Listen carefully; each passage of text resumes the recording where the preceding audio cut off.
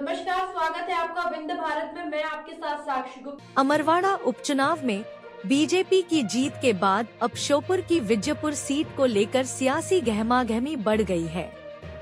Vijaypur seat से कांग्रेस विधायक Ramniwas Rawat BJP में शामिल हो गए। एक सप्ताह पहले उन्हें मोहन यादव की कैबिनेट में मंत्री बना दिया है। मोहन यादव की कैबिनेट में जगह मिलने के बाद यह तय माना जा रहा है कि विजयपुर में होने वाले उपचुनाव में बीजेपी के उम्मीदवार रामनिवास रावत होंगे। इसी बीच इस सीट पर बगावती तेवर भी देखने को मिल रहे हैं।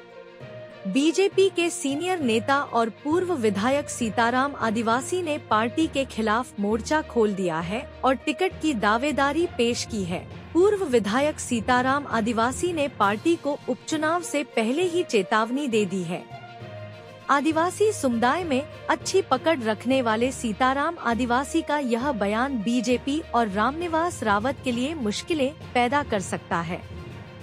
सीताराम आदिवासी ने कहा कि यदि मुझे टिकट नहीं दिया तो परिणाम अच्छे नहीं होंगे उन्होंने कहा कि विजयपुर विधानसभा सीट में रामनिवास रावत के समाज के मात्र पंद्रह हज़ार वोटर हैं, वहीं मेरे समाज के साठ हज़ार से अधिक मतदाता हैं। पूर्व विधायक सीताराम आदिवासी ने पार्टी को धमकी भरे अंदाज में कहा है कि यदि विजयपुर विधानसभा सीट से मुझे टिकट नहीं दिया गया तो मैं कांग्रेस में भी चला जाऊँगा। मेरे कांग्रेस में जाने से भाजपा को बड़ा नुकसान उठाना पड़ेगा।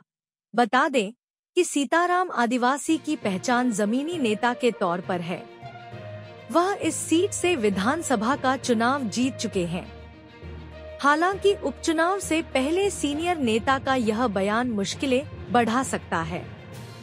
साल 2023 में मध्य प्रदेश में विधानसभा के चुनाव हुए थे।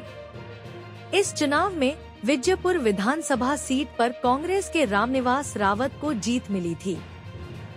भाजपा ने रावत के खिलाफ बाबू लाल मिवरा को टिकट दिया था। लेकिन उन्हें हार का सामना करना पड़ा था।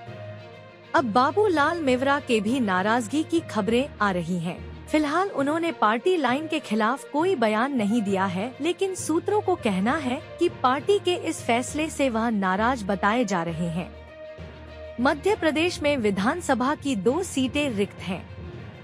बुधनी विधानसभा सीट से शिवराज सिंह चौहान ने इस्तीफा दिया है वहीं विजयपुर में उपचुनाव होना है हालाँकि उपचुनाव के लिए अभी तक चुनाव आयोग ने कार्यक्रम घोषित नहीं किया है।